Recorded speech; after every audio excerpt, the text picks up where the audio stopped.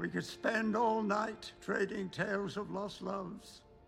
Nothing makes the past a sweeter place to visit than the prospect of imminent death.